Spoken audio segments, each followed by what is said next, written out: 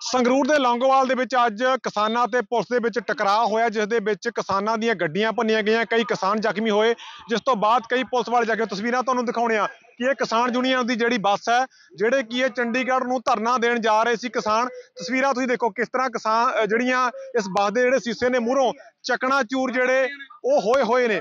ਨੀਚੇ ਤੁਸੀਂ ਦੇਖ ਸਕਦੇ ਹੋ ਕਿਸ ਤਰ੍ਹਾਂ ਜਿਹੜਾ ਕੰਚ ਹੈ ਜਿਹੜਾ ਉਹ ਸੜਕਾਂ ਦੇ ਉੱਪਰ ਜਿਹੜਾ ਉਹ ਖਿਲਰਿਆ ਪਿਆਗਾ ਤੇ ਨੀਚੇ ਇਸ ਤਰ੍ਹਾਂ ਦੀਆਂ ਜਿਹੜੀਆਂ ਹਾਲਾਤ ਜਿਹੜੇ ਇੱਥੇ ਬਣੇ ਸੀ ਇਹ ਤਕਰੀਬਨ ਦੁਪਹਿਰ ਦੇ ਵਜੇ ਕਿਉਂਕਿ ਤੁਸੀਂ ਦੇਖ ਸਕਦੇ ਹੋ ਕਿ ਇਹ ਬੱਸ ਦੇ ਜਿੰਨੇ ਵੀ ਸੀਸੇ ਨੇ ਤੁਹਾਨੂੰ ਨਜ਼ਰ ਆ ਰਹੇ ਨੇ ਉਸ ਤੋਂ ਉੱਪਰ ਸਾਰੇ ਸਾਰੇ ਇਹ ਸੀਸੇ ਭੰਨੇ ਗਏ ਨੇ ਕਿਸਾਨਾਂ ਦਾ ਇਲਜ਼ਾਮ ਆ ਕਿ ਪੁਲਿਸ ਵੱਲੋਂ ਲਾਠੀਚਾਰਜ ਕੀਤਾ ਗਿਆ।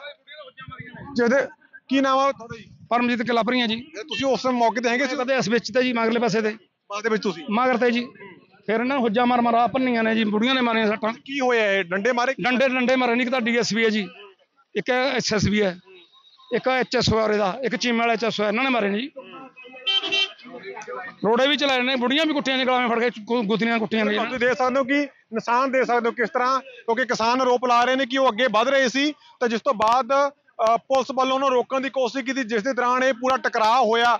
ਇਹ ਤਸਵੀਰਾਂ ਤੁਸੀਂ ਦੇਖ ਸਕਦੇ ਹੋਗੇ, ਕਿਉਂਕਿ ਇਹ ਕਿਸਾਨ ਨੇਤਾ ਜਸਵਿੰਦਰ ਸਿੰਘ ਲੌਂਗੋਵਾਲ ਦੀ ਤਸਵੀਰ ਹੈ, ਜਿਨ੍ਹਾਂ ਨੂੰ ਕਿ ਸਵੇਰੇ ਜਿਹੜੇ ਇਸ ਕਿਸਾਨ ਨੂੰ ਤੜਕੇ ਹੀ ਨਜ਼ਰਬੰਦ ਕਰ ਲਿਆ ਗਿਆ ਸੀ, ਉਸ ਤੋਂ ਬਾਅਦ ਇਸ ਤਰ੍ਹਾਂ ਦੇ ਹਾਲਾਤ ਜਿਹੜੇ ਉਹ ਕਹਿ ਸਕਦੇ ਹਾਂ ਸੰਗਰੂਰ ਦੇ ਵਿੱਚ ਬਣੇ ਸੰਗਰੂਰ ਦੇ ਲੌਂਗੋਵਾਲ ਦੇ ਵਿੱਚ ਬਣੇ। ਕਿਸਾਨ ਵੱਡੀ ਗਿਣਤੀ ਦੇ ਵਿੱਚ ਇੱਥੇ ਜਾ ਰਹੇ। ਸਾਹਮਣੇ ਤੁਸੀਂ ਦੇਖ ਸਕਦੇ ਹੋ ਤਸਵੀਰਾਂ ਕਿ ਵੱਡੀ ਗਿਣਤੀ 'ਚ ਕਿਸਾਨ ਖੜੇ ਨੇ। ਇਸੇ ਤਰ੍ਹਾਂ ਟਰੈਕਟਰ ਟਰਾਲੀ ਲੈ ਕੇ ਕਿਸਾਨ ਜਿਹੜੇ ਉਹ ਅੱਗੇ ਵਧਣ ਦੀ ਕੋਸ਼ਿਸ਼ ਕਰ ਰਹੇ ਸੀ।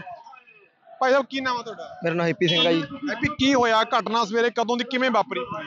ਸੋ ਜੋ 16 ਜਥੇਬੰਦੀਆਂ ਵੱਲੋਂ ਚੰਡੀਗੜ੍ਹ ਜਾਣ ਦਾ ਪ੍ਰੋਗਰਾਮ ਸੀਗਾ ਦੋ ਮੰਗਾਂ ਤੇ ਇੱਕ ਤਾਂ ਹੜ੍ਹ ਪੀੜਤਾਂ ਨੂੰ ਮੁਆਵਜ਼ੇ ਵਾਲੀ ਗੱਲ ਸੈਂਟਰ ਤੋਂ ਤੇ ਦੂਜੀ ਐਮਐਸਪੀ ਵਾਲੀ ਗੱਲ। ਆ ਉਹ ਦੋ ਮੰਗਾਂ ਨੂੰ ਲੈ ਕੇ ਜਾ ਰਹੇ ਤੇ ਪਰ ਇੱਥੋਂ ਦਾ ਪ੍ਰਸ਼ਾਸਨ ਆ ਜਿਹੜਾ ਖਾਸ ਕਰਕੇ ਸੰਗਰੂਰ ਜ਼ਿਲ੍ਹੇ ਦਾ ਉਹ ਸਵੇਰ ਤੋਂ ਲੈ ਕੇ ਬੀਕੇਯੂ ਆਜ਼ਾਦ ਦੇ ਸੂਬਾ ਪ੍ਰਧਾਨ ਸਰਦਾਰ ਜਸਵਿੰਦਰ ਸਿੰਘ ਲੌਂਗੋਵਾਲ ਦੇ ਘਰ ਛਾਉਣੀ ਬਣਾ ਕੇ ਬੈਠਿਆ ਹੋਇਆ ਸੀਗਾ। ਤੇ ਉੱਥੋਂ ਜਦੋਂ ਲੋਕ ਇਕੱਠੇ ਹੋਏ ਵਿਰੋਧ ਦੇ ਵਿੱਚ, ਤਾਂ ਅਸੀਂ ਨੇ ਕਾਫਲਾ ਜਿਹੜਾ ਆਪਦਾ ਉੱਥੇ ਲੌਂਗੋਵਾਲ ਦੇ ਵਿੱਚ ਸੱਦ ਲੀਆਂ ਟਰਾਲੀਆਂ ਕੁਛ, ਸਾਡੇ ਬਲਾਕ ਦੀਆਂ, ਸੰਗਰੂਰ ਦੀਆਂ। ਵੀ ਉਹ ਇਕੱਠੇ ਹੋ ਕੇ ਕਾਫਲਾ ਤੋਰਾਂਗੇ। ਪਰ ਇੱਥੋਂ ਦੇ ਡਿਪਟੀ ਨੂੰ, ਇੱਥੋਂ ਦੇ ਐਸਪੀਡੀ ਨੂੰ ਅਸੀਂ ਬੇਨਤੀਆਂ ਕੀਤੀਆਂ ਵੀ ਜੀ ਸਾਡਾ ਪ੍ਰੋਗਰਾਮ ਸਫਲ ਹੋਣ ਦਿਓ। ਅਸੀਂ ਸ਼ਾਂਤਮਈ ਢੰਗ ਦੇ ਨਾਲ ਸੈਂਟਰ ਸਰਕਾਰ ਤੇ ਪੰਜਾਬ ਸਰਕਾਰ ਤੋਂ ਜਿਹੜਾ ਪੈਕੇਜ ਆ ਉਹ ਲੈਣ ਜਾ ਰਹੇ ਹਾਂਗੇ ਤੁਸੀਂ ਜਿਹੜੇ ਇਹ ਰੂਟ ਰੂਟ ਜਾ ਰਹੇ ਸੀ ਰੂਟ ਸੰਗਰੂਰ ਨੂੰ ਜਾ ਰਿਹਾ ਤੁਸੀਂ ਇੱਥੋਂ ਕਿੱਧਰ ਨੂੰ ਵਧ ਰਹੇ ਸੀ ਅੱਗੇ? ਇਧਰੋਂ ਅਸੀਂ ਨੇ ਜਦੋਂ ਫੈਸਲਾ ਕਰ ਲਿਆ ਜਦੋਂ ਸਾਡਾ ਪ੍ਰਧਾਨ ਜਸਵਿੰਦਰ ਲੌਂਗੋਵਾਲ ਗ੍ਰਿਫਤਾਰ ਕਰ ਲਿਆ ਤੇ ਉਧਰੋਂ ਸੰਘਰਸ਼ ਕਿਸਾਨ ਮਜ਼ਦੂਰ ਸੰਘਰਸ਼ ਕਮੇਟੀ ਦਾ ਆਗੂ ਸਨਬਨ ਪੰਧੇਰ ਚੱਕ ਲਿਆ ਇਹਨਾਂ ਨੇ ਗ੍ਰਿਫਤਾਰ ਕੀਤਾ। ਤਾਂ ਤਾਂ ਤੋਂ ਜਥੇਬੰਦੀਆਂ ਨੇ ਫੈਸਲਾ ਕਰ ਲਿਆ 16 ਹੀ 16 ਨੇ ਵੀ ਸਾਰੇ ਟੋਲ ਪਲਾਜ਼ੇ ਫ੍ਰੀ ਕਰ ਦਿਓ ਕਿਉਂਕਿ ਉਹ ਸੈਂਟਰ ਦੇ ਅੰਡਰ ਆ ਗਏ। ਵੀ ਕੋਈ ਰੋਡ ਜਿਹੜਾ ਰੋਸ ਪ੍ਰਦਰਸ਼ਨ ਸੀ ਸੈਂਟਰ ਦੇ ਖਿਲਾਫ ਸੀ। ਹਾਂ ਤੇ ਉਹ ਅਸੀਂ ਸੈਂਟਰ ਦੇ ਖਿਲਾਫ ਕਰਨਾ ਚਾਹੁੰਦੇ ਤੇ। ਇਸ ਕਰਕੇ ਅਸੀਂ ਟੋਲ ਪਲਾਜ਼ੇ ਫ੍ਰੀ ਕਰਨ ਦੀ ਜਿਹੜਾ ਸਾਡਾ ਡਿਮਾਂਡ ਸੀਗੀ ਵੀ ਅਸੀਂ ਕੋਈ ਰੋਡ ਨਹੀਂ ਜਾਮ ਕਰਦੇ। ਅਸੀਂ ਡੀਐਸਪੀ ਸਾਹਿਬ ਨੂੰ ਬਾਰ-ਬਾਰ ਕਹਿੰਦੇ ਸੀਆਈਡੀ ਨੂੰ ਬਾਰ-ਬਾਰ ਕਿਹਾ। ਪਰ ਇਹਨਾਂ ਨੇ ਇੱਥੋਂ ਦੇ ਡੀਐਸਪੀ ਨੇ ਕੁੱਟ-ਕੁੱਟ ਇੱਕ ਤਾਂ ਕਿਸਾਨ ਦੀ ਜਾਨ ਹੀ ਲੈ ਲਈ ਤੇ ਦੂਜੇ ਸਾਡੀਆਂ ਭੈਣਾਂ ਦੀਆਂ ਗੁੱਤਾਂ ਇਹ ਜੋ ਪੱਟੀਆਂ। ਅੱਛਾ ਕਿੰਨੇ ਕਿਸਾਨ ਜ਼ਖਮੀ ਹੋਏ ਨੇ ਤੁਹਾਡੇ?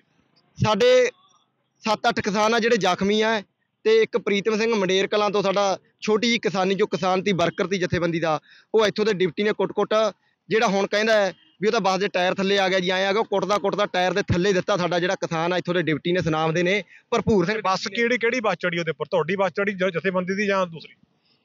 ਉਹ ਬਸਤੀ ਜਿਹੜੀ ਉਹ ਬੱਸਾਂ ਅਸਲ ਦੇ ਵਿੱਚ ਦੋਨੇ ਇਕੱਠੀਆਂ ਸੀਗੀਆਂ ਉਧਰੋਂ ਪੰਜਾਬ ਪੁਲਿਸ ਦੀ ਤੇ ਉਧਰੋਂ ਸਾਡੀ ਕਿਸਾਨ ਜਥੇਬੰਦੀ ਦੀ। ਉਹ ਦੋਨੇ ਬੱਸਾਂ- ਟਕਰਾਅ ਹੋਇਆ। ਟਕਰਾਅ ਹੋਇਆ ਬੱਸਾਂ ਦਾ। ਉਧਰੋਂ ਇਹਨਾਂ ਦੇ ਡਰਾਈਵਰ ਨੇ ਬੱਸ ਹੱਕ ਕੇ ਵਿੱਚ ਲਿਆਂਦੀ ਹੈ ਤੇ ਇਧਰੋਂ ਇਹਦੇ ਜਿਹੜਾ ਡਰਾਈਵਰ ਸੀ ਉਹ ਆਪਦੀ ਸਾਈਡ ਹੀ ਜਾ ਰਿਹਾ ਸੀਗਾ। ਇਹ ਅਸਲ ਦੇ ਵਿੱਚ ਕੋਸ਼ਿਸ਼ ਕਰ ਰਹੇ ਤੇ ਜਿਹੜੀ ਪੰਜਾਬ ਪੁਲਿਸ ਵਾਲੀ ਬੱਸ ਹੈਗੀ ਵੀ ਉਹ ਟਕਰਾ ਕੇ ਅਸੀਂ ਮੂਹਰੇ ਲਾ ਦਈਏ ਵੀ ਇਹਨਾਂ ਦਾ ਕਾਫਲਾ ਰੋਕ ਲਈਏ। ਇਸ ਕਰਕੇ ਜਿਹੜੀ ਉਹਦੀ ਮੌਤ ਹੋਈ ਹੈਗੀ ਉਹ ਇੱਥੋਂ ਦਾ ਉਹਦਾ ਕਾਤਲਾ ਜਿਹੜਾ ਡਿਪਟੀ ਹੈ ਇੱਕ ਕਿਸਾਨ ਦੀ ਲੱਤ ਵੀ ਕੱਟੀ ਗਈ ਆ ਉਹ ਦੇਖੀ ਗਈ ਆ ਉਹ ਕਿਵੇਂ ਹਾਦਸਾ ਹੋਇਆ? ਉਹੀ ਕਿਸਾਨ ਜਿਹਦੀ ਮੌਤ। ਜਿਹਦੇ ਜਿਹੜੇ ਜਿਹਦੀ ਮੌਤ ਹੋਈ ਆ ਉਹੀ ਕਿਸਾਨ ਦੀ ਲੱਤ ਆ ਜਿਹੜੀ ਉਹ ਕੱਟੀ ਗਈ ਹੈ ਹੁਣ ਕਿੰਨੇ ਕਿਸਾਨ ਤੁਹਾਡੇ ਸਾਡੇ 7-8 ਕਿਸਾਨ ਆ ਜਿਹੜੇ ਉਹ ਜ਼ਖਮੀ ਹੈ। ਤੇ ਦੋ ਤਿੰਨ ਜਮਾ ਗੰਭੀਰ ਜ਼ਖਮੀ ਆ ਜਿਹੜੇ ਰੈਫਰ ਕਰਤੇ ਆ ਪਟਿਆਲੇ ਨੂੰ। ਮਾਤਾ ਦੇ ਪਤਾ ਨਹੀਂ ਤੇ ਸਾਡੀਆਂ ਮਾਤਾ ਦੇ ਸੱਟਾਂ ਨੇਗੀਆਂ। ਹੁਣ ਧਰਨਾ ਤੁਹਾਡਾ ਕਦੋਂ ਤੱਕ ਕੰਟੀਨਿਊ ਰਹੂਗਾ ਉਰੇ? ਸਾਡੇ ਧਰਨੇ ਦੀਆਂ ਮੰਗਾਂ ਜਿਹੜੀਆਂ ਇੱਥੋਂ ਦਾ ਡਿਪਟੀ ਆ ਜਿਹੜਾ ਭਰਪੂਰ ਉਹਦੇ ਤੇ ਪਰਚਾ ਦੇ ਕੇ ਅੰਦਰ ਕਰਨ ਕਿਉਂਕਿ ਉਹ ਕਾਤਲ ਆ ਉਹ ਕਿਸਾਨ ਦਾ। ਤੇ ਦੂਜਾ ਇੱਥੋਂ ਦਾ ਪ੍ਰਸ਼ਾਸਨ। ਇਸ ਗੱਲ ਤੇ ਜਦੋਂ ਬਾਰ-ਬਾਰ ਅਸੀਂ ਅਪੀਲਾਂ ਕਰ ਰਹੇ ਤੇ ਤੇ ਇੱਥੋਂ ਦਾ ਮੁੱਖ ਮੰਤਰੀ ਆ ਜਿਹੜਾ ਜਿਹੜਾ ਸਾਡੇ ਕਿਸਾਨਾਂ ਦਾ ਕਹਾਉਂਦਾ ਹੈ ਤੇ ਮਜ਼ਦੂਰਾਂ ਦਾ ਕਹਾਉਂਦਾ ਹੈਗਾ। ਉਹਦੇ ਪ੍ਰਸ਼ਾਸਨ ਨੇ ਉਹਦੇ ਜ਼ਿਲ੍ਹੇ ਦੇ ਵਿੱਚ ਸਾਡੇ ਤੇ ਡਾਂਗਾ ਮਾਰੀਆਂ ਹੁਣ ਕਿਸਾਨਾਂ ਤੇ। ਤੇ ਸਾਡੀਆਂ ਬੱਸਾਂ ਭੰਨਤੀਆਂ ਹੁਣ, ਗੱਡੀਆਂ ਭੰਨਤੀਆਂ ਹੁਣ, ਇਸ ਕਰਕੇ ਅਗਲਾ ਪ੍ਰੋਗਰਾਮ ਜਿਹੜਾ ਜਥੇਬੰਦੀਆਂ ਵੱਲੋਂ ਤੈਅ ਹੋਊਗਾ, ਉਹਦੇ ਤੇ ਹਰ ਹਾਲਤ 'ਚ ਪ੍ਰੋਗਰਾਮ ਆ ਜਿਹੜਾ ਐਵੇਂ ਚੱਲੂਗਾ। ਸਾਫ਼ ਤੌਰ ਤੇ ਤੁਸੀਂ ਦੇਖ ਸਕਦੇ ਹੋ ਕਿ ਸਵੇਰ ਤੋਂ ਲੈ ਕੇ ਕਿਸਾਨ ਇਸ ਜਗ੍ਹਾ ਦੇ ਉੱਪਰ ਲੌਂਗੋਵਾਲ ਦੇ ਵਿੱਚ ਇਕੱਠੇ ਹੋਏ ਸੀ, ਤਾਂ ਉਸ ਤੋਂ ਬਾਅਦ ਵੱਡੀ ਗਿਣਤੀ ਕਿਸਾਨ ਲੌਂਗੋਵਾਲ ਦੇ ਵਿੱਚ ਇਕੱਠੇ ਹੁੰਦੇ ਨੇ। ਤਾਂ ਹੁਣ ਇਸ ਸਮੇਂ ਧਰਨਾ ਲੌਂਗੋਵਾਲ ਦੇ ਵਿੱਚ ਦਿੱਤਾ ਜਾ ਰਿਹਾ। ਕਿਸਾਨ ਨੇਤਾਵਾਂ ਦਾ ਦਾਅਵਾ ਹੈ ਕਿ ਇੱਕ ਕਿਸਾਨ ਦੀ ਜਿਹੜੀ ਮੌਤ ਹੋ ਚੁੱਕੀ ਆ। ਪ੍ਰਸ਼ਾਸਨ ਹਜੇ ਇਹ ਗੱਲ ਨਹੀਂ ਮੰਨ ਰਿਹਾ। ਪ੍ਰਸ਼ਾਸਨ ਕਹਿ ਰਿਹਾ ਕਿਸੇ ਦੀ ਕੋਈ ਮੌਤ ਨਹੀਂ ਹੋਈ। ਪਰ ਲੇਕਿਨ ਵੱਡੀ ਗਿਣਤੀ 'ਚ ਕਿਸਾਨ ਇੱਥੇ ਪਹੁੰਚੇ ਨੇ। ਕੇਂਦ- ਕੇਂਦਰ ਸਰਕਾਰ ਦੇ ਖਿਲਾਫ ਇਹ ਧਰਨਾ ਸੀ, ਧਰਨਾ ਪ੍ਰਦਰਸ਼ਨ ਸੀ। ਇਸ ਨੂੰ ਲੈ ਕੇ ਕਿਸਾਨ ਅੱਗੇ ਵਧ ਰਹੇ ਸੀ, ਜਦੋਂ ਕਿਸਾਨਾਂ ਨੂੰ ਇਹ ਰੋਕਿਆ ਗਿਆਗਾ ਜਿੱਥੇ ਵਿੱਚ ਕਈ ਕਿਸਾਨ ਜ਼ਖਮੀ ਹੋਏ ਨੇ, ਕਿਸਾਨ ਦੀ ਮੌਤ ਹੋਈ ਹੈ, ਜਿਹੜੀ ਕਿਸਾਨ ਦਾਅਵਾ ਕਰ ਰਹੇ ਨੇ, ਪਰ ਲੇਕਿਨ ਪ੍ਰਸ਼ਾਸਨ ਕਹਿ ਰਿਹਾ ਕਿਸੇ ਕਿਸਾਨ ਦੀ ਕੋਈ ਮੌਤ ਨਹੀਂ ਹੋਈ, ਪਰ ਇਸ ਦੇ ਘਟਨਾ ਦੇ ਵਿੱਚ ਕਈ ਪੁਲਿਸ ਵਾਲੇ ਵੀ ਗੰਭੀਰ ਰੂਪ ਵਿੱਚ ਜ਼ਖਮੀ ਹੋਏ ਨੇ। ਵਿੱਕੀ ਬੋਲਰ, ਪੰਜਾਬ ਤੱਕ ਸੰਗਰੂਰ।